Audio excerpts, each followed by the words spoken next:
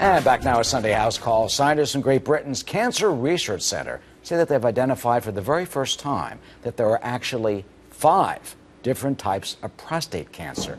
Dr. Siegel, this is pretty stunning. I mean, you think prostate cancer is prostate cancer. This is very important. And I want to start by saying, what is cancer? Because I think people out there know what it is, but do you know that cancer is genetically based? The, the DNA in the cell or the genes of the cell are what's called the blueprint. It tells your body what to do. They're called the blueprints. When the blueprints go off, you can get cancer, and then your cells start to grow, grow, grow, grow, and take over the body like the tumors you know about. But now we're being able to study the genetics when, when things go wrong, Eric, and figure out which are the worst ones, which have the most mistakes, which of the genes in your cell has the most mistakes, causing the worst cancers. And when I send a patient to Dr. Samadi or, or someone does, they want to know not just do I need to have this prostate cancer out, but what the, what's the worst one? Which is the one I need out the most? Which is the one I need out the least? Which one can I not have out? Up until now, it's been very, very hard to predict that. Now he may be able to say to his patients in the near future, you know what? This one you can wait on. This one I better get out right away.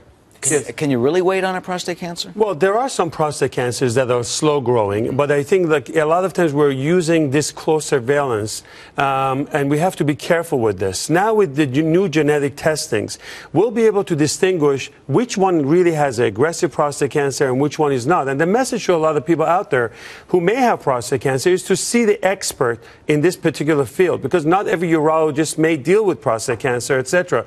230,000 new cases of prostate cancer cancer 30,000 still die from this. Our job is to prevent and distinguish who should be treated and who is not. And in our center in Manhattan, we have a lot of these tests. The genetic testing you do at the, your prostate cancer center, right? That's right, Arthel. So we probably have we have 4K tests. We have a lot of Oncotype DX, which is based on genetic testings. We have Prolaris. Who should really get more biopsies or not? Who has aggressive or not? This precision medicine is a beautiful part of what we do every day to tell somebody, I'm going to follow you with MRIs, etc., and I'm going to, or you need an operation fairly soon. It can save lives, which is a game changer. Well, Marc, what should you tell your doctor? If you got prostate cancer right now, do you say, I want this new DNA test? Well, I think you, you would consider it, but I would add to David's point, and I love his point about precision medicine, because that is the future. What's good for one person, not good for another person. We need more studies on the genetic testing to tell us exactly which, which genes what are going. This is a great study, but it's only in 250 men. I want to see it in, in 1,000 men. I mean, can you ask, so you can can't you go, go to your doctor yet, yeah. right now to ask for this genetic you testing? can, but you can go to your doctor and ask for this. But as time goes on, we're going to have more and more information that will help us decide. What, and what is we're it in the called? early what, stages of What it. should people ask for? Look, Eric, I think there's no specific test today, but what we for, you can ask for 4K tests. You can take It's prostate what? health 4K. index. 4K. We will post this. These are the, the collection of a lot of different tests. But the, the old-fashioned way of treating this was elevated PSA meant, you know, biopsy, and biopsy meant surgery and radiation, and they may have had complications. Even though in the hands of experienced people, you would do well. Today we have a lot of other tools that we would look at, and we add all of these tests. We, there's a urine test called PCA3 test that looks at special cells of cancer in urine, and then even if your biopsy is negative, we can get something called ConfirmMDx to find out if you have it. And David, isn't it true also that MRI helps target the part of the cancer that might have the most of these abnormalities? That's another good point. Not only that's a very good point that Marc is bringing up now. Not only we're using genetic tests, we're using images and imaging studies to find out if there's an area that lights up on MRI. And in our center in Manhattan, we have something called MRI fusion, where you take ultrasound pictures and MRIs and you put them together and find out where you should put, like almost like a GPS, Mm-hmm. will tell you this is the area you should concentrate.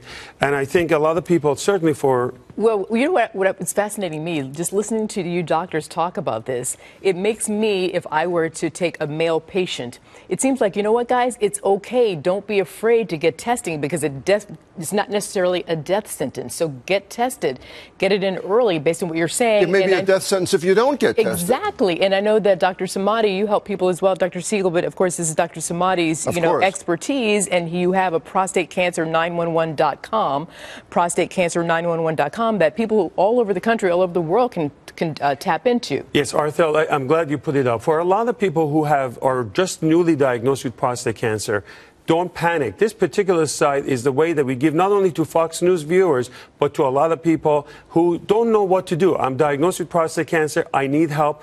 We're putting our time and effort as a way to give back, and it's a pleasure to do this. They can come to prostatecancer911.com, and we've been able to save many lives. And Marc has also been extremely instrumental in his practice for screening, detection, and it's a great collaboration and has worked out tremendously well. To know when the patient needs to see him. All right. Very good. And 4K, the 4K test. Just ask for the genetic test. You testing. like that? First, love first that. you have to get your PSA Eric, first. you're Yeah, you know waiting. what your We're still PSA waiting. You're right, your that's PSA? true. What We're still waiting on your PSA. That's the thing. I mean, uh, the, anyone, do you know your PSA number? I mean, you know, that's really important. We'll talk about that next week. Do you know yours? No, I don't know. Yes, you get, do. you get the blood test. You wanna got to bring us. it next week. you know, you got to watch it. I know that. Okay.